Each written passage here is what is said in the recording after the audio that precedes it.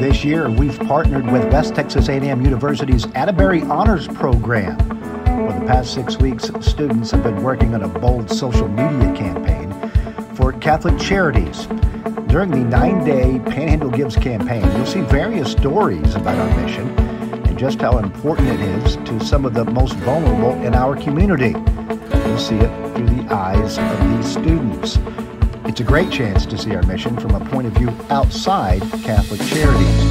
Today, they go through the many ways you can donate during the campaign.